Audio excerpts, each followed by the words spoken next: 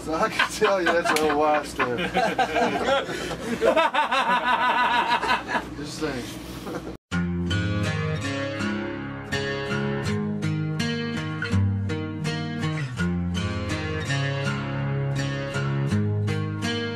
Take a good look at me now. Do you still recognize me?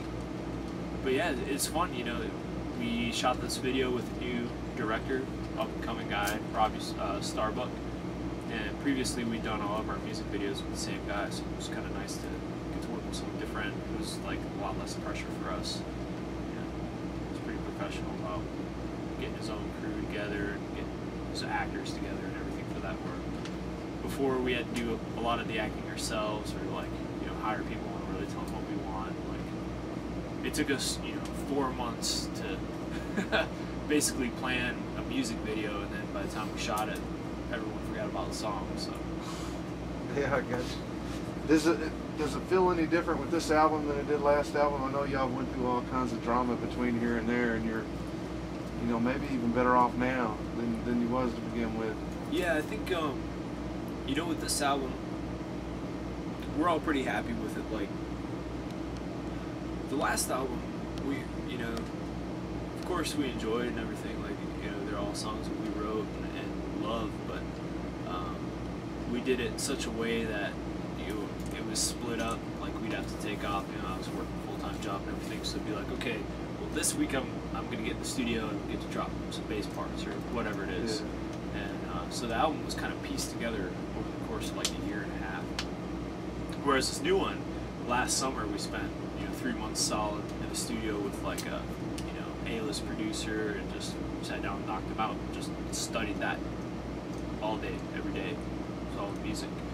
Um, so I think what we really got out of this was like our first album, Lipstick on the Mirror, was kind of like an outline of what pop evil is, and this new album is starting to kind of shade that in a little bit. So we're seeing more of what we really sound like. You know, Yeah, you took legit three months off, no touring. yeah, Because you guys, on no tour like like mad. yeah, yeah. Um, the year prior to that, we had like a, a record for. Um, You guys slammed out some shows, dude. Yeah, we did like Two eighty or some shit. Yeah, I think we did like two. Two eighty Uh, four. anytime I ever check up on you guys, you're touring. That's why it amazes me that you took three months off. Yeah, that's it. You know People always ask us. I remember that, dude. When you guys.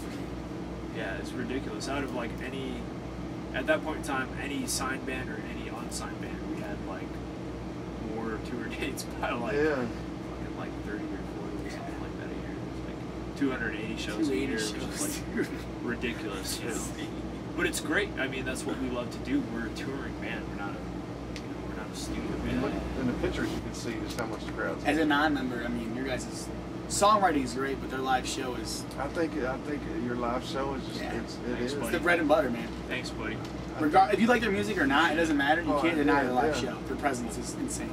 What I was getting into earlier, um, off camera, was. Uh, that two years ago when he interviewed us Uh-huh. for Rock on the Range. Yeah, yeah, yeah, yeah. Like See, it was that after. man. It was like, fuck me, I didn't sleep at all the night before. I was up in jail.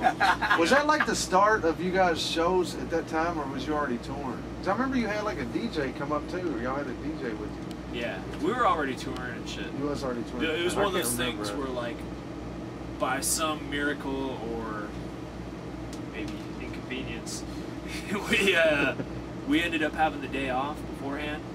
So we went to Rock on the Range and we partied, and I had my, you know, had my girlfriend out there and shit.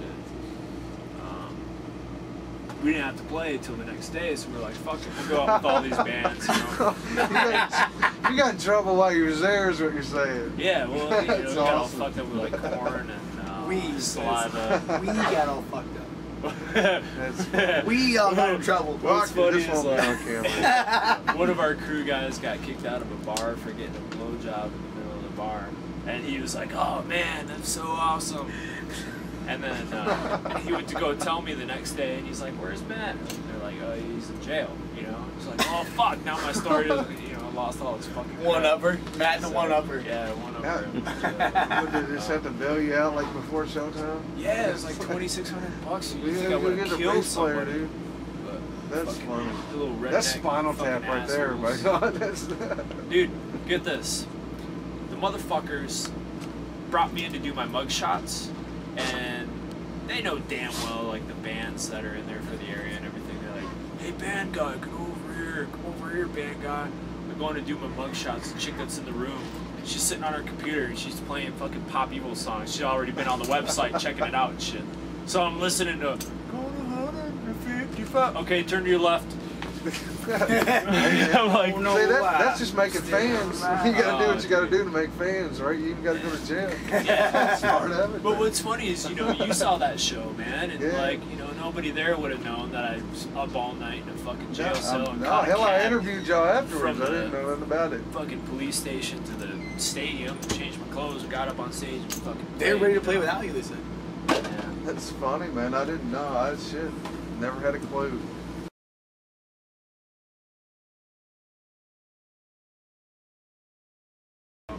Got one called Boss's Daughter. We co-wrote with Mick Mars Mötley Crüe, and um, Tony and Leigh got to go out to his house in Malibu. You know, go hang out in the studio at his house and work on some guitar riffs and stuff like that. Um, there's another one on there we co-wrote with like Jack Blades, Night Ranger, and um, it's kind of cool, you know. Just some- different. songwriters back right. Yeah, we wanted to really get out and try to write people for a couple of the songs and stuff, just to see what what we came up with. Even if we didn't come up with anything, you know, like we just want to see like what it's like to work with different people and push ourselves in different directions. To see what we can do. What's up, big guys? I didn't know where you guys were. I was looking for We're doing an interview. Oh, you didn't hear me? My bad.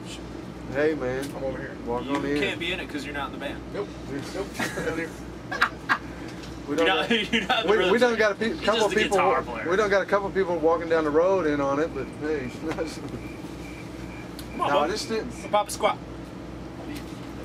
What's your view, man? Tell me a little bit about your your standpoint on the new album. On the new album? Yeah, yeah. What's your pitch on it? It's it's um, geez, it's, it's one of those things like the first one we were pretty much part time. I don't know what Matt had said about it. Did he get into that with you guys? You, uh, let's Oh, so I'm gonna go in a circle here. I'm gonna go in a Nah, It's circle. all right. It's all But right. no, yeah, the first one we were pretty much part time, and you know, all working 40 hours a week, just working on it. We put that one out ourselves, you know, originally. And so this one actually, to me, feels like our first one because we actually lived in Chicago for a few months and actually brought, I think, 30, 40 songs to the table, narrowed it down to 16, narrowed it down to 12. And so, like, if you like the first one, you're gonna love this one. because- I mean, is it recorded together at all before the last album? I mean, the the, the debut album. We just recorded like sex tapes. Strictly. That's it. Nothing. That's Nothing. true. nothing. Speaking of that, I'm gonna get a shot here. So. Just, just, just video, note, no, just video, no audio recordings. That's what you Uh, yeah. we had Tony in the background doing the audio. Yes. That's okay, right there, yeah. Chicken fried rice. No, I'm not going. What do you guys going on after this this tour here with the Crossfade? I mean, do you? Black Stone, Blackstone Cherry. Oh, that's right. Y'all do got that coming up. That's yeah, right. Doing a That's run with Black Stone Cherry and then um, probably a lot of headline and stuff too. And whatever else comes our way, man. We just we're not going home anytime soon. So So you're just starting on this the surroundings. check out our Facebook and everything like that. We always got our tour dates updated on that. Twitter. Twitter. Yeah. Twitter, audio music. Yep. Popular music. Or you can follow me personally on Twitter. See some nasty pictures of me taking a shit on Twitter. I just post- And, ta- and post pictures of me eating tampons on pillows. That's only for the, the paying customers. that's, Word. that's a subscription to that. my Twitter, not for the weak hearted. Well, Although that's- yesterday was a good day, I posted pictures of like cupcakes and like shit. I fell in love with it. So yeah, July 5th, new album, July fucking 1st, cupcake? early album release. It's big as my head, dude. Is it over there still? It's kind of melting what about you, man? though. Are you, you, play, you playing another band, Look at right? that fucking Uh, cupcake, dude. Get a shot of that. Not, Not right. the band's, uh, the band's done. Oh, okay. Well, so, And here I am now. We'll promote it a little bit too. I would love to plug if it was there to plug. Right now, Awesome. it's just a butt plug.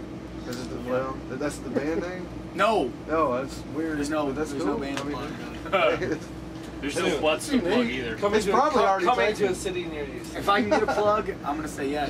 July 1st, said, dude. Muskegon said Summer butt plug Celebration. coming to a city near. Muskegon, Muskegon Summer Cell is my extra plug I want to throw in. The early album release date. What for is that it? show? Muskegon Summer Celebration, July 1st. July 1st. Awesome guys. I Other than appreciate. that, album's July 5th.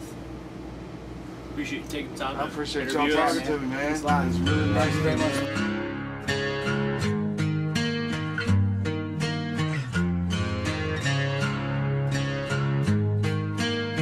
Take a good look at me now. Do you still recognize me? Am I so different? Inside? Yeah. Wait till she. Never mind. Here we go. I won't say that one. Others. Others Digging the for old, others' mistakes. dig the old hole there.